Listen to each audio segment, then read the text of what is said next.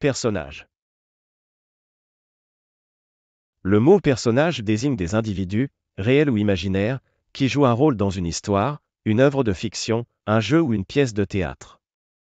Les personnages sont souvent créés pour raconter une histoire, pour représenter des idées ou des valeurs, ou pour divertir le public.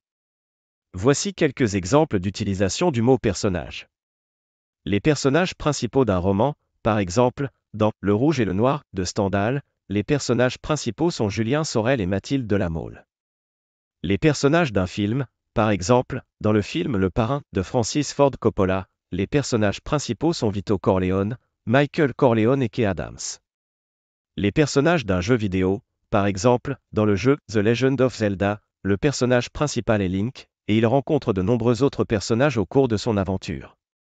Les personnages d'une pièce de théâtre, par exemple, dans la pièce Le Misanthrope de Molière, les personnages principaux sont Alceste, Célimène, Philinte et Eliante.